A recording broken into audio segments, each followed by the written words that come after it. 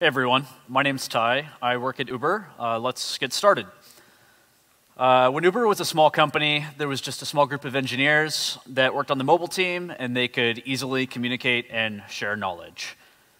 And that team could, uh, they built a single app in one repo uh, using old standard tools like Ant and Eclipse.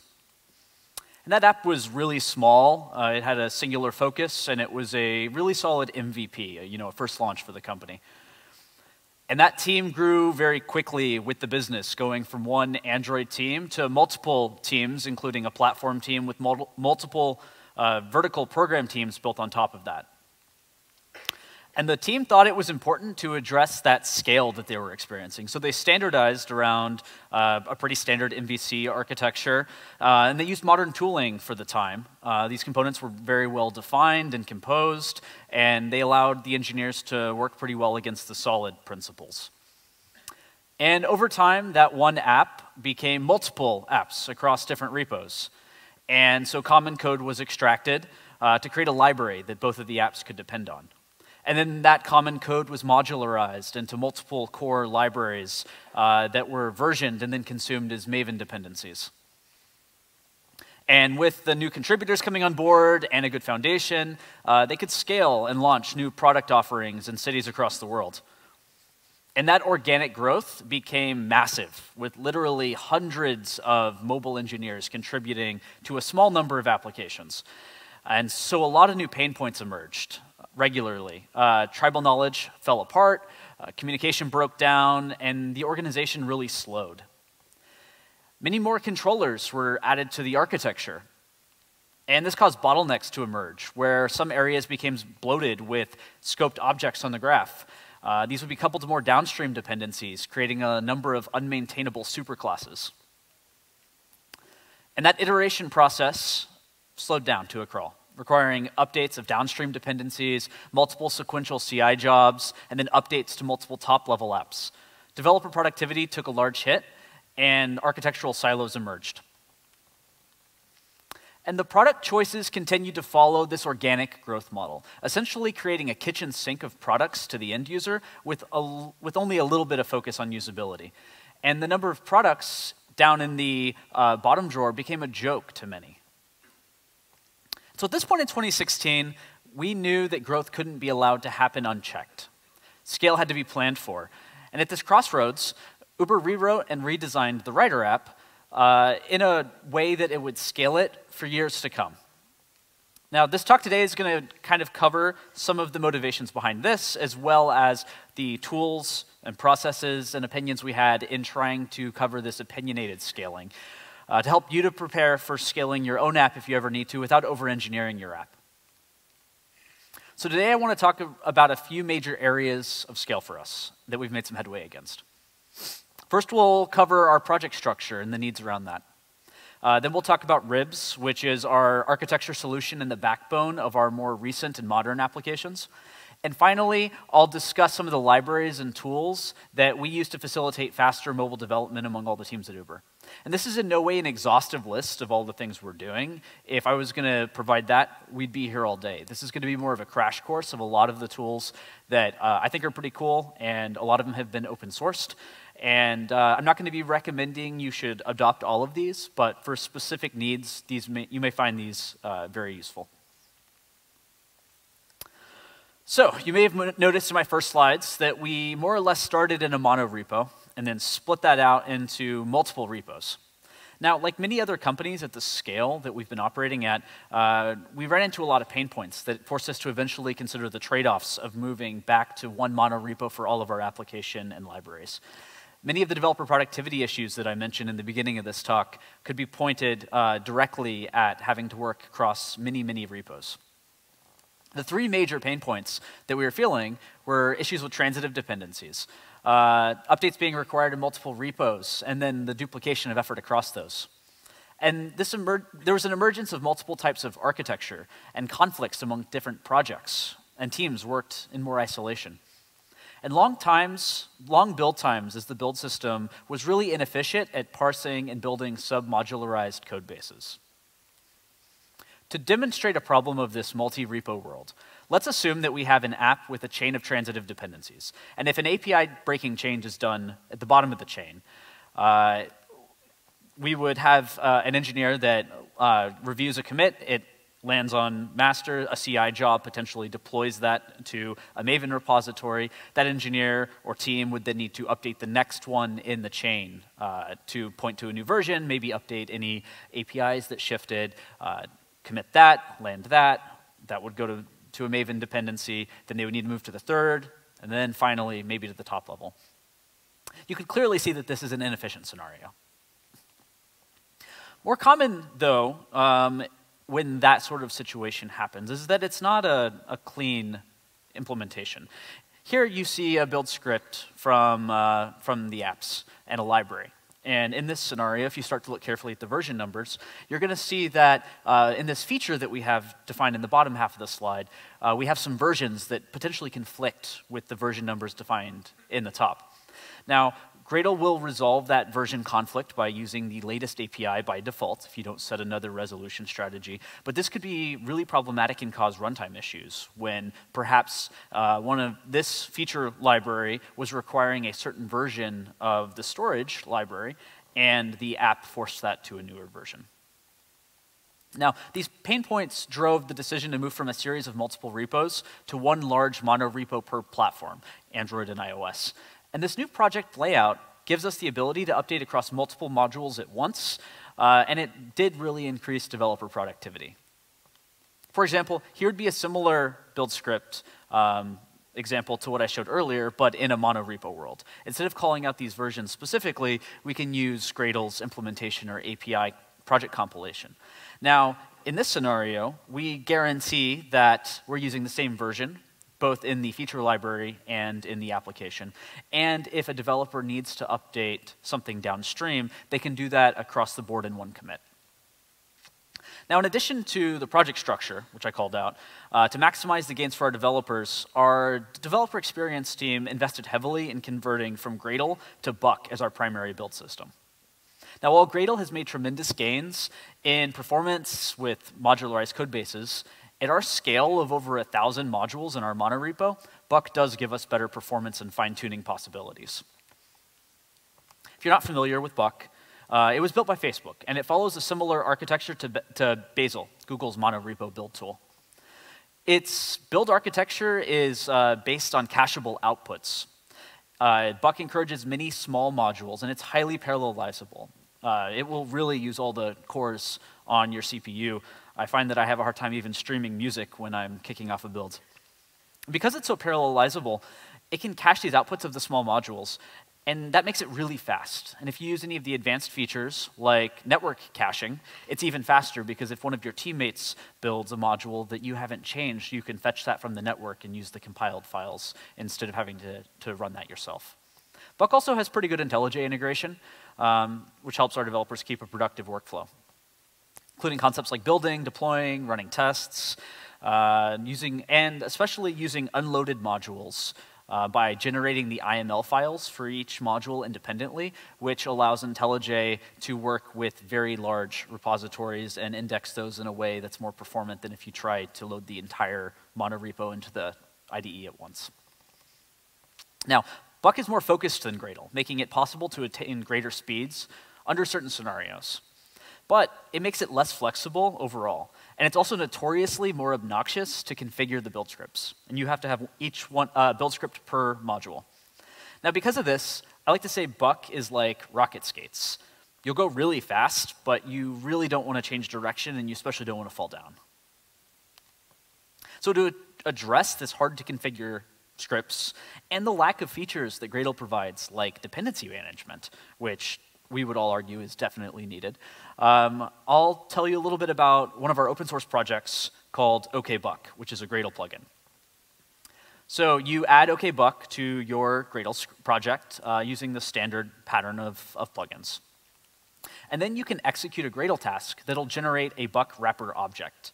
Now this buck wrapper will, well, this, the, the task will configure your project and create that, um, the buck configs per module. So you don't have to configure those yourself, which is super nice.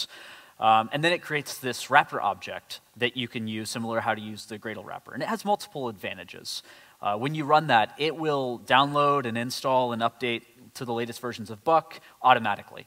And it has minimal overhead in deciding when to run OKBuck as a Gradle task to regen these Buck scripts um, by understanding when like Gradle files are changed for dependencies and things like that, which uh, when you have a very large project like this, when you go to run Gradle and kick off the OKBuck task, it can take a really long time. So it's ideal that you uh, would want to minimize the amount that that runs. It also handles pretty gracefully the cases when OKBuck fails and it, uh, you know, maybe when the daemon stops um, and can restart that when needed. And so what this gives us is it gives us the speed of Buck, which clearly we need to empower all, our, all of our developers, with the simplicity and the features that Gradle provides, like dependency management. Another awesome feature when using the Buck build system is uh, a tool called Exopackage. And this is only used for development builds. Exopackage constructs a shell application where each module's DEX file uh, can be hot swapped out at runtime. Now, this allows much smaller changes to be deployed to the device, uh, very similar to Instant Run, uh, but it usually works pretty well. Here on the first run, uh, the APK builder will uh, create an, the shell APK and it'll dex, create all the DEX files, and all of that will be installed to the device at once. So you're going to get a pretty standard install time. But on subsequent compilations, it's only going to load the changed DEX files across ADB. And the uh, shell APK will hot swap those out. And what that really improves for you is the install time. On a really big app, you uh, might even see 30 to 40 seconds being taken to run ADB install. And uh, using something like this, you're going to see those installs happening usually in a second or two uh, on the subsequent compilations where the, the EXO package has been delivered to the device. The last uh, helpful build tool that I want to cover solves a problem that I'm sure most of you have experienced at one point in your career. Um, and as you get a larger code base, in my mind, this happens a lot more frequently, and that's uh, master breaking, even after the CI jobs have run and verified your tests. Now, this is most likely going to happen because you have uh, you know, maybe two, two developers that have committed, and the CI jobs both verified those independently, and they both went to merge those. Um, and those are going to have merge conflicts or something, and together that's going to cause master to break. And when we were scaling up to hundreds of engineers, we were seeing master be broken once or twice or three times a day. And that's uh, incredibly hurtful to productivity around the company. People would do a git pull and a rebase, things would be breaking, they didn't know if it was their feature that they were working on or if master had been broken. Um, teams are rushing to get features in, and that's a problem. Um, so we introduced this tool called submit queue. And now uh, submit queue is a concept that's used in a lot of open source libraries and at different companies, but it's essentially a, um, a similar CI job that runs a set of automated tests and validates that things are going to merge successfully uh, prior to them getting merged into the code base automatically. Um, I would recommend, if you guys are interested in something like this, looking into the Kubernetes open source community. They have one of these that runs publicly, and it's a pretty good model to, to look at. Now, with our project structure defined, compiling and sailing smoothly, uh, it's time to move into how we actually build the applications and some of the runtime and compile time libraries that we talk about. Now, in early 2016, uh, we, we did this rewrite. And with that, a group of engineers was charged with uh, researching and figuring out an architecture that would scale out for uh, the future of the Uber apps for at least a few years. And uh, so they researched many existing solutions and ended up proposing um, our own that uh, would be codenamed Presidio, um, which would become the foundation of our modern apps that we have today. And so there were a number of goals that were stated for this uh, architecture research that were higher level goals.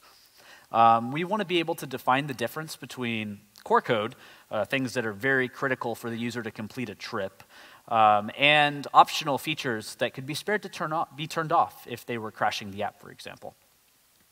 Uh, with scale only expected to increase at the company, we wanted to set up a foundation that would continue to work for new developers to be added on without another rewrite. Uh, we wanted to create guidelines and Rails for developers and designers to work on uh, so they could have fast, consistent, and reusable features across many apps. And you can't define success without properly measuring and you know, taking metrics. And it shouldn't be up to the individual teams to figure out what sort of app-wide metrics need to be looked at. And so our foundation should provide that and help assist with that as a first-class citizen. Uh, users rely on our application as a daily utility that's critical to their lives. A lot of people commute with the Uber app, uh, or they order meals through Uber Eats. Um, you know, this is, it's critical that this is operating for them. Um, and to move fast as a company, developers can't be afraid of breaking the app. So we needed to be able to de-risk experimentation, um, you know, allow this iteration without worrying about breaking it down. Lastly, our tools should empower and not inhibit a great app experience. It should be performant out of the box and handle things like degradation of low-end devices um, and all, all that sort of stuff that you would come to expect. So based on those architectural goals, uh, we investigated well-established architectures like MVC, MVVM, and Viper. And we found that each of those had flaws that made them not exactly suited for our needs. With MVC and MVVM, uh, you commonly have things like fat controllers that are introduced that become unmaintainable, and that was similar to our old Rider application, where we started with one request class of 300 lines, and by the end of that project, it was many thousands and very unmaintainable. Um, very fragile as well. And we liked a lot of things about Viper, including how explicit it is with the separation of concerns. Um, but using a pure imp implementation of Viper would have tied us to uh, create the app based on the view tree. And uh, we, in our mind, that's also leaking business logic through the presenter. And so based on those principles and the inspiration from Viper, uh, we created an open source cross-platform architecture and framework around that called RIBS. It's implemented natively on Android and iOS, but the domain language is shared on both so that your engineers can talk and collaborate and have a similar language that they're talking with. Uh, a RIB unit is defined by a builder, which creates the other components of the RIB. An interactor to manage business logic, uh, and a router to help with routing uh, between the RIBs and navigation. Since we wanted the application to be tied to our, the, the application state tree to be tied to our business logic instead of the view tree, uh, the view and the presenter are also optional.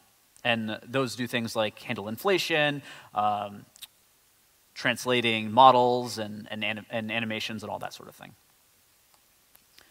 Our Rider application is then represented by, uh, by business logic in these state trees, uh, where each one of the nodes in this tree is a RIB unit. And each one of these will only be instantiated, attached, and active when it's needed based on the flow that the user's in. So let's walk through what an active rib tree looks like when the user's requesting a ride. Initially, the only ribs that will be attached uh, will be related to the home screen. And as the user moves through the car request flow, confirming their ride, uh, the home ribs are detached and a confirmation rib is attached. And that's then followed by a refinement choice where the user can refine the location to be picked up. And finally, all pre-trip related ribs are detached and an on-trip branch is created and attached. Communication between the ribs was designed to justify or to satisfy the open-closed principle. For communication downwards, we rely heavily on RX streams. Uh, stream is placed on the DI graph, and then an emission is made that a, a child will subscribe to and consume. And for communication upwards, uh, the parent implements an interface that the child would define, and then the child would execute that interface. So with the backbone of our app defined, uh, I want to walk you through a lot of the tooling that we use to both support RIBs as well as generally improve developer productivity at Uber, um, mostly that we've open sourced or that we contribute to. To assist developers with the ribs, um, we want to reduce boilerplate because that's one of the major concerns that we've heard about using such a verbose architecture. And so we created an IntelliJ plugin that lives in the ribs uh, repo. And using this plugin, you can uh, bootstrap up a new unit of rib, which includes all of the components that I talked about, uh, as well as the Dagger components that are used inside of the builders to simplify that. And now one of the most important pieces of functionality that was built into the new Rider and Driver app uh, is the ability to distinguish between core code and optional code, like I mentioned earlier. And that's backed by a plugin system. And so this plugin system uh, needs to enable these safe rails for developers to work on, and then if needed, we can remotely turn off features from the backend. And so we recently open sourced a metadata generation tool called Crumb that can be the backbone of this type of functionality. Crumb enables you to generate metadata and downstream dependencies that act as providers of information that upstream parents can consume and act on uh, as an annotation processor. So we combine this with tools like Java Poet and Kotlin Poet so that we can generate code based on this metadata. So in this diagram taken from, our, uh, from the repo, you can see how a plugin system for collecting uh, dictionary translation implementations as plugins would look. Uh, we define these as libraries that can be managed across compilation boundaries through CodeGen and then collected in the parent. Now in Crumb's repo, you can see the full example of this, uh, this dictionary example, which is uh, a pretty great starting place uh, for doing a plugin system of your own. Now, in our applications, however, we built a more complex version of this example, and it's backed by our A-B testing framework.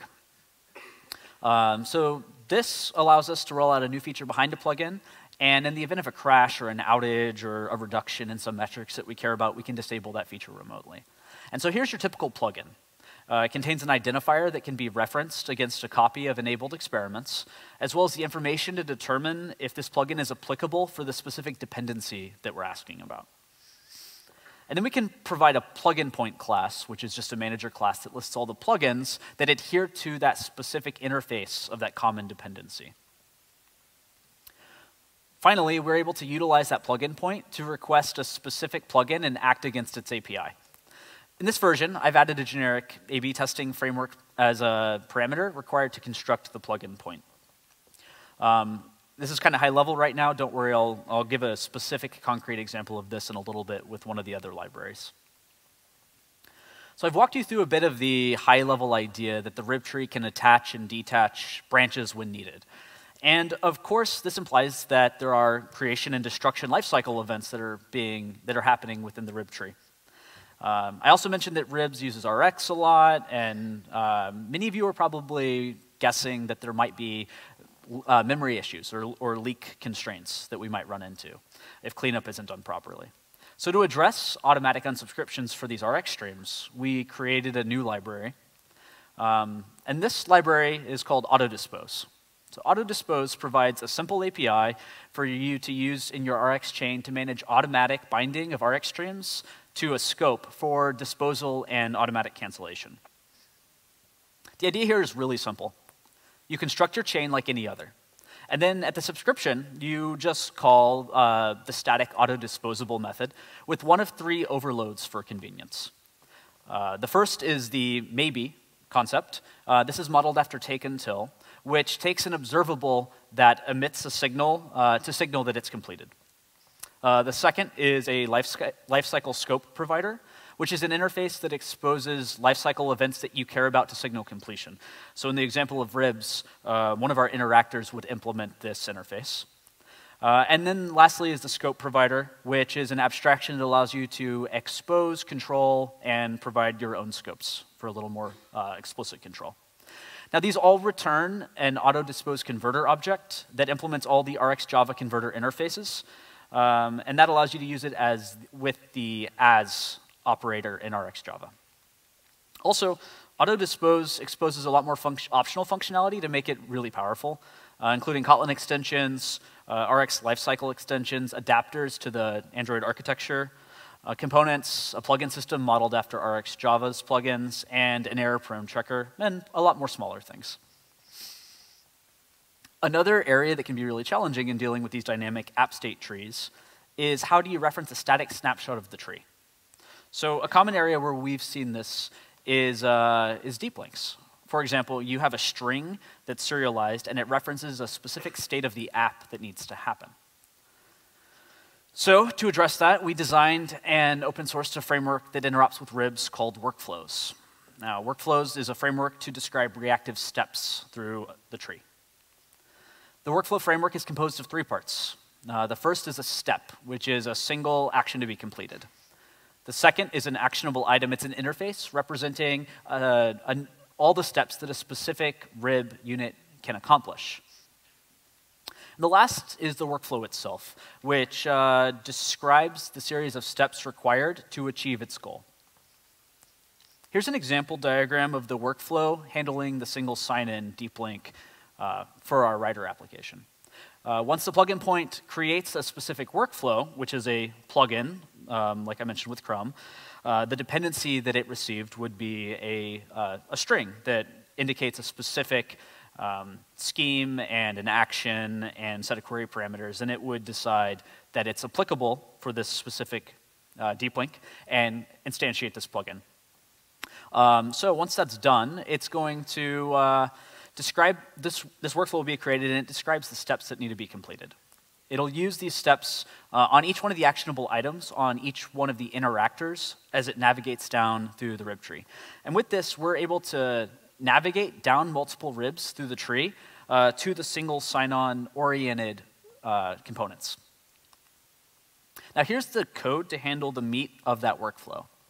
We have a series of steps that are defined that will walk from our root node, rib node, all the way down to our main interactor, um, at which point we have a utility method that allows us to attach any full screen rib. And we can attach explicitly the single sign-on rib, which we've instantiated in the plugin.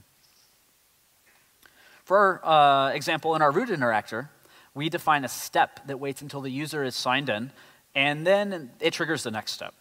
Um, what this does is if the user was already signed in and they launched this deep link, it would immediately signal through a behavior subject, which is the signaler underneath, and it would continue into the next reactive step in the workflow. But if the user wasn't signed in, that part of the rib wasn't attached, it's going to wait here um, because Workflows is backed by RX until the user's completed the sign-in flow, and then it will continue the initial intention of the user clicking the deep link.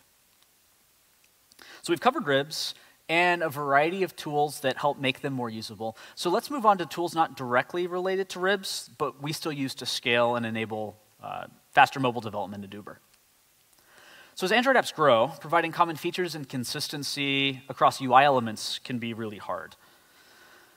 Uh, we have a number of teams building UI functionality, and it's important to keep the app looking and feeling the same for users. Um, and so to keep consistency, uh, we collaborated with our designers to create a style guide that exists in all of our apps in development um, and separately as an application that our designers and our program teams can consume to reference their specific needs when scoping out and building new features. But this introduces a couple problems. The first, in my mind, is that since Android hosts all the base views, um, it, it requires a lot of maintenance to keep all of the set of common views managed by potentially a platform team or a bunch of different teams that are contributing. Uh, where maybe you need to put a bug fix into a specific one and you're maybe duplicating that into the other features or trying to, to get that across. Um, we use that, we, we want things in all of our views, like the RX binding APIs, analytics, accessibility, among a host of other things. Uh, the second problem that um, is that as organizations grow, it's hard to communicate the way that things actually should be done, even providing great tooling. Um, how do you enforce that this is being adhered to, as opposed to creating a custom UI? And so to address the first point, we built and released a tool called Artist. Artist is a Kotlin-based code generating tool that allows you to generate a base set of views. So artist-generated views are created using a stencil and trait system, where each view is declared with a single stencil, and it's comprised of a set of traits. And all of those come together to generate um, an easy to maintainable set of base views for your application. Now, a stencil describes the view that can be generated, and it has properties to configure, whereas the trait uh, defines a specific feature that you want to generate into that, into a one or more views. Here's a basic example of a trait. Here we want to create a convenience method for checking the different visibility states of a view. Uh, so we'll iterate through the visible states, and then we'll create convenience methods, is invisible, is visible, and is gone. And then we'll write up our stencil, which will be, it'll specify that view information to be generated, as well as adding the traits that uh, we want including in that view, so the one we just wrote up. Now we can see what a generated view would look like. For, uh, in this case, we have all the three methods that we, we just wrote up to generate. Uh, so for more information on what Artist is, as well as how to use it, as well as detailed instructions, um, check out the repo, which we have linked down here. So this, uh, this first way we address, this is, this is a way that we address the next problem, usage in the organization, um, and many similar types of problems to it. We make extensive use of lint rules. Um, this will give developers immediate feedback if they're doing something wrong. Now, we have a sample, uh, a sample lint here that extends the resource XML detector. And this is taken from a much more complex view in the application, but I narrowed it down to the single example that we're using. Now, when this discovers usage of the standard switch compat, which we were just writing, uh, it will throw an error to the developer informing them to use the auto-generated foo switch instead. Secondly, we automatically add blocking reviewers to, uh, in our code review process, if certain behaviors uh, are used or adjusted by using Herald, which is part of the Phabricator code review tool suite. It's an open source code review tool originally built by Facebook. Uh, it's a, Herald is a powerful part of our tool chain. Uh, as any team grows, it, it's important to become uh, made aware when these sort of changes are happening by other people that you may not be aware of. In addition to the errors that I mentioned, there are a slew of others that will impact large software projects more and more. Uh, the larger the project grows, the more often you're going to run into these, um, especially easy to avoid common errors like the infamous null pointer exception. Now, one tool that we use uh, on our mobile projects is ErrorProne. It's a fast compiler plugin built by Google that will fail at build time with common errors and an easy to write checker plugin system so that you can extend upon it. For example, in this piece of code here, uh, we're injecting our object graph after we've called the super on create. And that can become problematic with configuration changes and the Android system automatically reattaching fragments and you potentially not having your Dagger graph in place yet. Uh, so ErrorProne will halt the execution at build time, uh, not, not after through static analysis, and it'll let you know about the error and you can resolve it at that point. And error prone makes it easy to write new checkers for error types. Uh, when we looked at the benefits of Kotlin and Swift, of course, one obvious win was the way it handled nullability and how it throws that error in your face at compile time. Using error prone as the basis of, uh, of this checking framework that we wanted, we wrote and open sourced a tool called Nullaway. Uh, and it, it's specifically designed to help solve that billion dollar mistake and give you Kotlin's nullability in Java.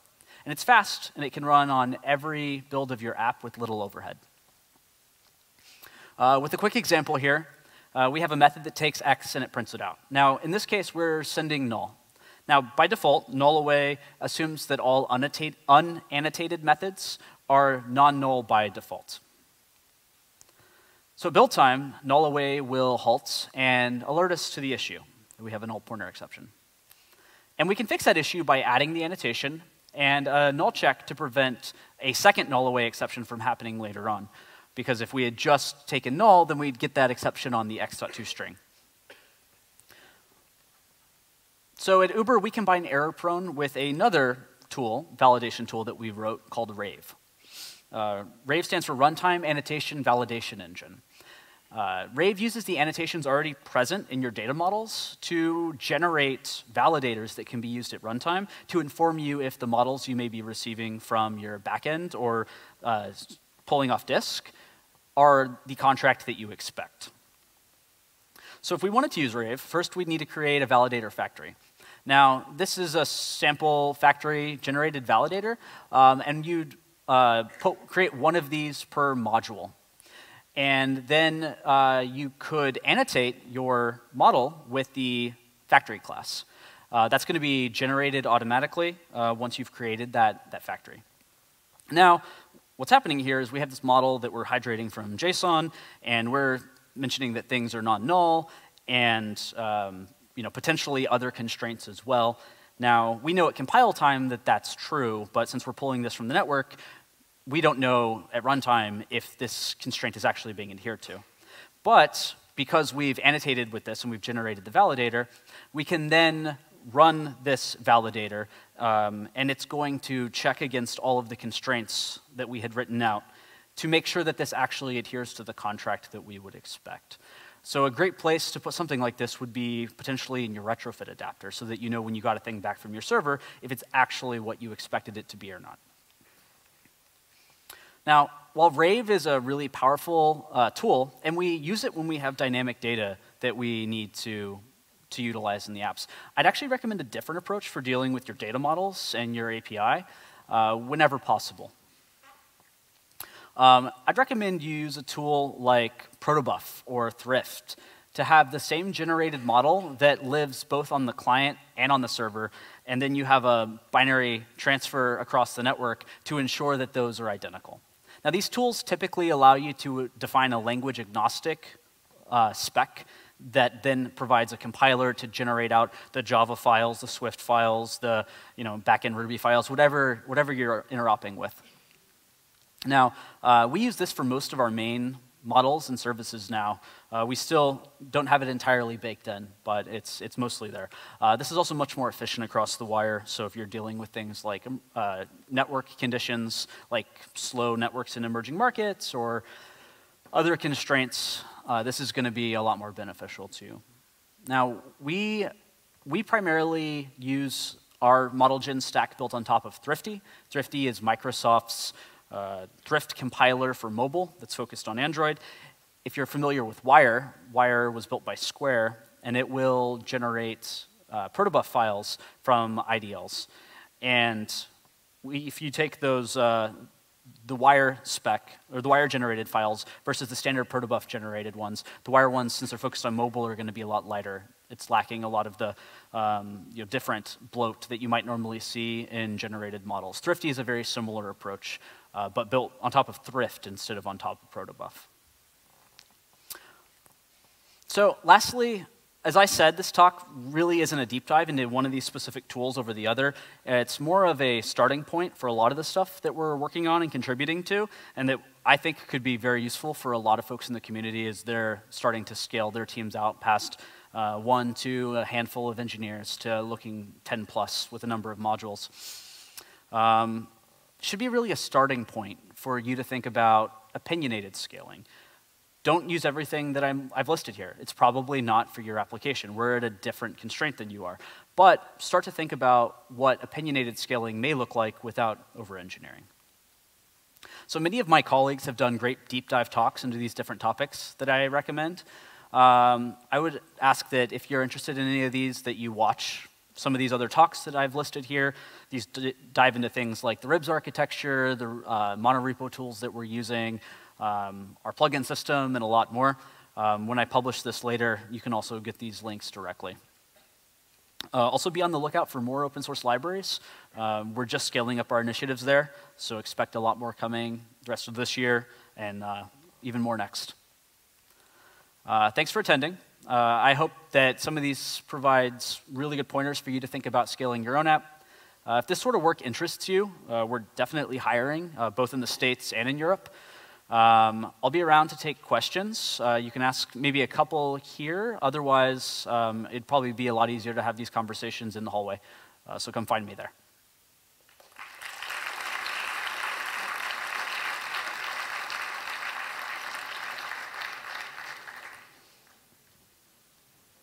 Okay.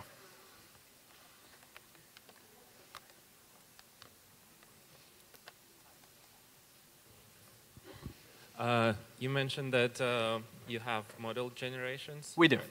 And uh, how does it work uh, on the persistent layer? There is a man sitting right in front of you that has written this entire stack. Um, if you want a deep dive into that, I'd recommend talking to him. But at a high level, uh, we have um, IDLs that live on the server and client, and then we have a pipeline that will generate these models. Uh, for persisting them, we're using AutoValue. Um, the uh, adapter is being tied into retrofit for pulling those down. Um, we're then storing those as uh, flat files on disk. Um, and then I guess it generates yeah. migrations? Um, because the app is mostly uh, mirroring the state of the server, um, the type of local data that you would expect at any one point is never hugely concerning for, for manipulating that. We have migrated things in the past, but that's not much, as much of a concern for local storage as many different types of applications. Cool, thanks. Uh, hello? Um, hey. Hey.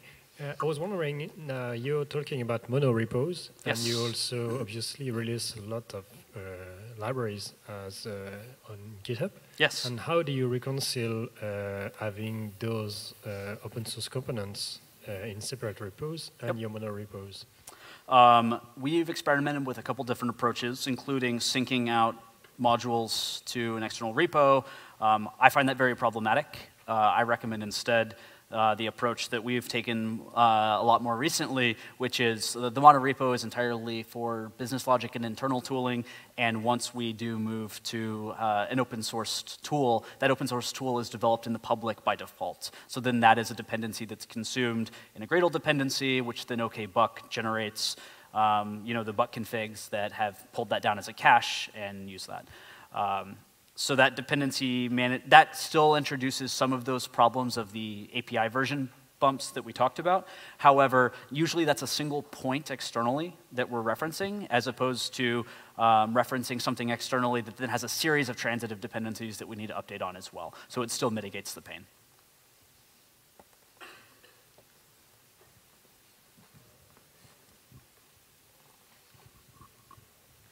Hello, thanks for this uh, awesome presentation. You're welcome. I'm here. Where are you? Here. Ah, to the left. okay. uh, my question is about uh, uh, the continuous integration. How are you handling this uh, at the Uber scale? Uh, so we have a large set of Dockerized Jenkins instances that are running um, that we have verification jobs on the uh, code review being sent up through Phabricator. Um, that validates a number of different things, including running the unit tests and the UI tests. Um, once that has been verified through uh, the Jenkins jobs that are running, then we, um, when the developer decides to land that into master, we then run it through the submitqueue tool that I talked about, and that happens automatically, where that uh, checks for um, git conflicts, and it runs a series of, of more uh, extraneous tests before it lands that into master. Okay, uh, I think we're out of time. If you want to talk to me anymore, come find me after. And just what, one word, uh, please, guy, pack up on the center. Uh, sorry for the class. pack up on the center because there is a lot of people coming in. So to be quick, uh, just uh, a garbage collector yourself.